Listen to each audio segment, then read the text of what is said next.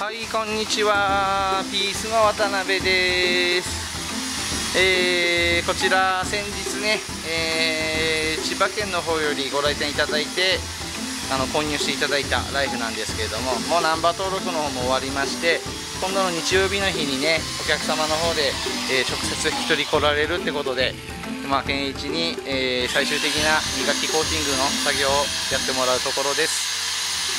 最近雨が多いからタイミングでさ雨降ってる中でなかなか磨きができないんでね。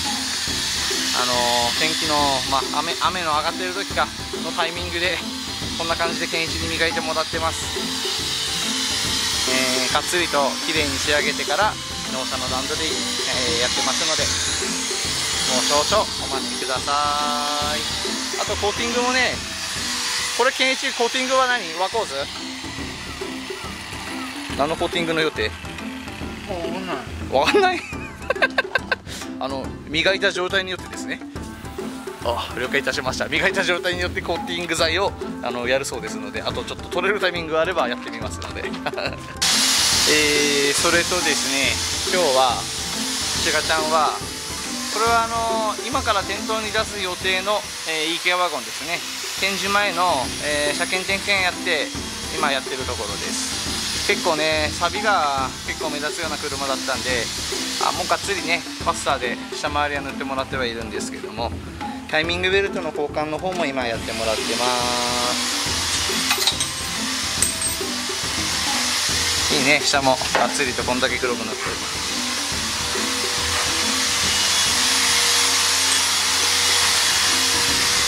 これがタイミングベルト。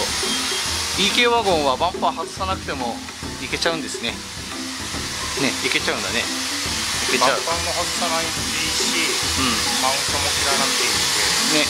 ダメですセガちゃんもともと三菱にいたからもう慣れた作業これも。これがあこれが今新品？新品？これ。これが新品？うん。あでこれが今からつけるやつ。テンショナーとえー、新品のタイミングベルトを今から取り付けしてもらうところです。もう車検点検は終わってんだねこれねね終わってんだね。で最後にベルトの張り替えをやって完了か、ですね。EK ワゴン。これねあのー、なんだっけ。マニュアル車。マニュアル車です。マニュアル。今マニュアル車って少ないからね。あんまりないんだよね。マニュアルである車種って EK ワゴンはマニュアルあるか。あとムーブも古いやつはあったけど最近のどうなんだろうね。マニュアルっていうのがほんと少ないからさ今ね。貴重だと思います。マニュアルの EK ワゴンちょっとねサビは大きくあるけどね。パスタ塗る前に1回乗ればよかったかな。まあまあでもできる限りのサビ止めはそこからはやってはいるんですけれども。まあこんな感じので。まあそんなまあねなんかわかるかな。結構錆びてるんだよね。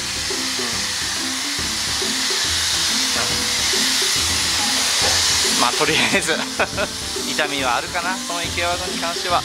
4区4区じゃないや。2区 2, とマニュアルだからと思ってねその方で仕入れはしたんですけども。やっぱないんですよ。マニュアルでね安価なやつを探そうと思うとなかなかなくてさ。え。ーななかなかないっていうかねなんだろうやっぱり球数自体が少ないからね。その中でうんないんだよね本当に。だからまあ一応仕入れてた車です。まあでもがっつりだね。できる限りのメンテナンスはしてから販売するようにしています。まずこちらも車検の方を起こしてから店頭に出しますね。うん健一も磨き作業やってくれてます。あとはえー、っと先ほどね朝一に健一がもうね磨き終わったザッツこちら。こちらは、えー、福島県のいわきの方よりご来店いただいてご制約いただいた車ですね。もう磨いてコーティングまで塗ってあるんでもう完璧に仕上がってます。もうあとはお渡しのみですね。車検の方も、えー、ナンバー登録かの方も完了してザッツ。綺麗ですね。パープル。こちらのも新品タイヤサービスで。けさせていただきましたのでね。ねうちはねもう軽自動車だったらもうどんなんでも、えー、ご制約いただいた時に新品タイヤ中古ホイールをつけるようにってことでやっていきますんでこんな感じの。これはもともと履いてたスタッドレスを後ろに積み込みさせてもらいました、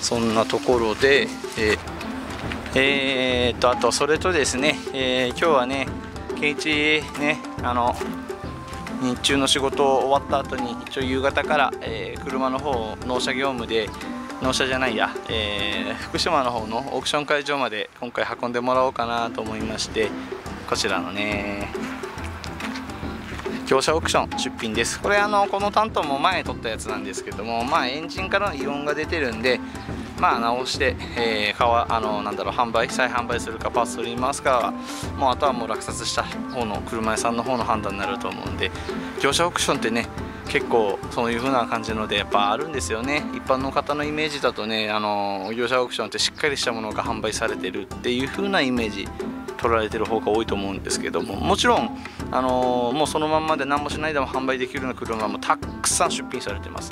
たくさんあります、うん、ただ、えーと、やっぱり業者オークションっていう特性上、えーと、やっぱり不具合のある車も出品されてるのもやっぱりいっぱいありますね。で基本的にはそういう車は全部もう現状販売ノークレームノーリターンっていう風な扱いで、まあ、お互いプロ同士だよねっていう風な扱いの中で取引の方をするような感じですんでね。まあこれに関しては、まあ、エンジンイオンということでうちの方でね、あのー、出品になるでしょう。このこのこの担当はね。まあでもエンジンの世界すればまたまだ乗り換えしなんだろう乗る気になれば乗れる車だと思うんで他のとこはね外装の痛みとか何もなかったから、うん、エンジンの世界をあの自分とこで平気であの気にしないでやっちゃうような業者だったら多分買っちゃうと思います。ね、買ってエンジンの使えて販売すれば全然ねこれはあの売り物になると思いますね。でもう1台、えーと、この R1 これはね先日うちの方でオークションから落札したんですけれどもこれねあのやっぱ今コロナウイルスの影響でねあの、まあ、ネットからの落札しかうちの方でやっぱ今やってなかったんですよ。あの原車の方を確認にオークション会場までっていうのをあのなかなかちょっと行きづらくて、まあ、2ヶ月、2ヶ月、まあ、ちょうど一番流行ってる時あたり、2ヶ月流行ってるっつうか、あのね、あの騒いでる頃か、その頃にあの落札し落札した車だったんですけども、点検この間かけてて、えー、っと、一応出品リストには下回りサビってことではあったんですけれども、あのもう、これはもうダメだわってことで、よいしょ。まずね、これだ。これこれ。ここのサビがこれもうダメです。こういう風になっちゃってたらあのー、右側見ると分かるんですけどあのゴムのシーリングで穴が埋まってるんです。こちら。でちょっと剥がしてみたんですけどもシーリングちょっと外してみたらもうダメですね。これせっかくだから剥がしてみる。これも目の前で今。こんな感じでシーリングがついててん？待てよ？と思って。待てよ？なんだこのシーリングは？と思って剥がしたんですけども。こんな感じで。あちょっと剥がれづらいね。あまあでもこれ分かるかな？もうもうボロボロなの分かりますかね？これ。信じられないでしょ？信じられないでしょ？これ。ちょっとシーリングを剥がすとまあ何せシーリングあのパッキン？シーリングでこんなになってて剥がすとこうなります。ねサビ穴。サビ穴。まあ下回りサビってことにはなってはいたんですけどね。これは無理でしょ。これはさすがに売り物になんないよ。まあ業者オークションで落札してきたやつだからね。うちの方でもそんなのはあーっともうつきものだと思って。っぱこういう失敗もあるんですね。うん。なんでうちの方でも一応ねもう一回あの、まあ、パーツルとして使ってもいいのかなっては思うんですけどもまあ何分、えー、何々ねやっぱりこう落札するのに経費あのお金払ってやっぱ買ってるんで、うん、パーツ取りに回してるよりも R1 っていう車なんでねこれはオークションに出品してまあ下回りサビ穴って書かれるでしょうね。で多分もうこれは再販するのはこの車は多分無理だと思います、うん、あのくらいのサビの状態じゃもの車検も通せないだろうからね、うん、だから一応まあこのパーツ取りしながら使うような車屋さんとかに、まあ、落札してもらえればいいのかなとかさ、うん、思います。値段つくかどうか分かんないけどね。まあ状態が状態だから、うん、シーリング塗ってねサビ穴をごまかしちゃうっていうね。こういうパターンもございますんでね。ねあのこういうパターンもございます。ただ、えー、この車を、えー、そのままで販売するのは私としては、えー、やっぱりやりたくないですね。そういうことはね、うん、なのでこれは、え業者オークションの方で、え下回りサビ穴付きってことでこれ出品になりますね。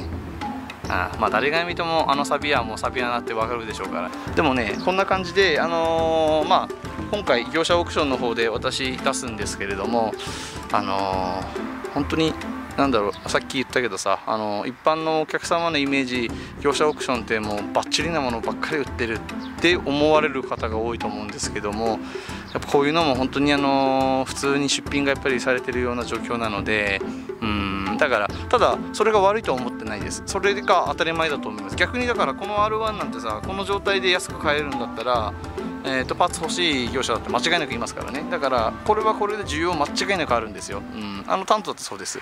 エンジンのイオンのね出てる状態でやっぱり安いんでそれを手直しして販売するっていう業者間違いなくね、あのー、商売として成り立つんでそれはそれで。だからこれが悪いってことではないんですよね、うん、こういう車が決して悪いわけじゃなくてこれはこれで使い道はあるんですよ、うん、だから業者オークションでそういうのがまあ出てるおかげで商売になってるのもまた事実なんでね、うん、私もそうですね、あのー、自社で本当あのタイミングベルトのだからやってない車とかっていうとだからこういうのの軽い感じだよね、うん、本当にあのータントなんかでエンジンのせ替えってすごい重整備に感じちゃうんですけどもそれを気にしない業者ってやっぱいるいるんですよね。そのお客さんお客さんじゃないや我々業者も、えー、やっぱりそのこういう風な用途、うん、と授業は間違いなくあるのは事実なんですよね。だからこれに多分この動画見ててえーって思う人すごい多いと思うんですけども、うん、それが悪いわけじゃないんですよね。まあそんな感じ。なのでえー、っと全くもって、えー、っと需要がゼロなわけじゃないんでこういうのはまあ現状車って形でうちの方でオークション出品します。ね。まあそんな感じでとりあえず今日は、えー、あとね健一に磨きの方やってもらいながらいろいろねまたやってやっていこうと思いますんでよろしくお願いいたします。バイバーイ。